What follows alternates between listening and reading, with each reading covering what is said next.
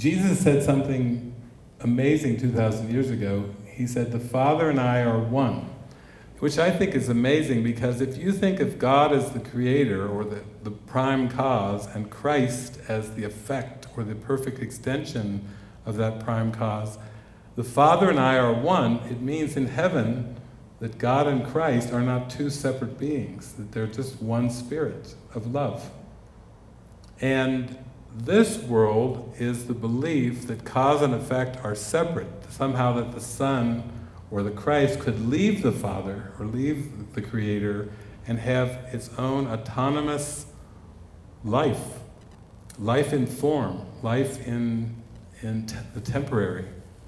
And what I discovered as I looked close at that is that everything we study in this world, every, I was in university for 10 years, undergrad and grad, every discipline that you study in this world, as different as they are, they all have one commonality, and that's the belief in causes and effects in this world. The belief that cause and effect are separate. The cause comes first and the effect comes second.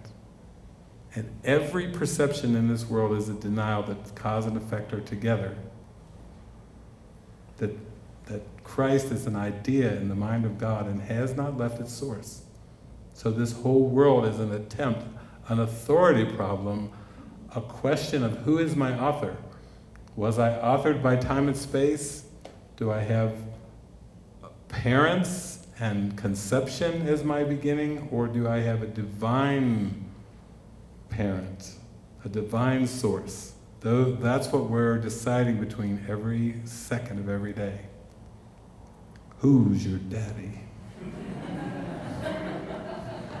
All we have to do is solve that one riddle Who's your daddy?